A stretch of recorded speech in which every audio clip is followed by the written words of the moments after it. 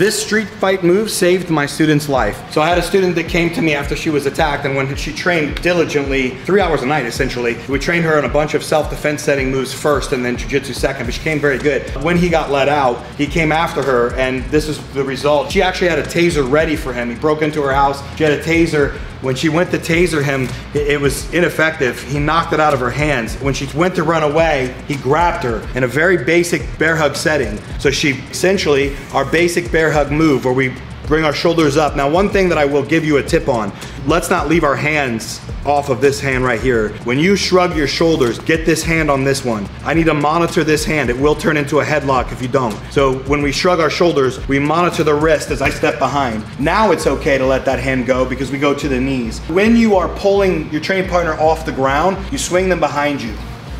That way he falls away from you. This is what she did, and then she kicked him in the head. She went and got her taser, tasered him in the neck, and then that's the time the police had staked them out and came through the door. This saved her life. Remember, the world's a dangerous place, and jujitsu is really an equalizer, especially if you are a smaller person versus someone that really doesn't know jujitsu at all. It's a huge advantage. So keep your training up and make sure that you at least have some effective self-defense techniques that work and evolve with time. For more self-defense tips, follow me.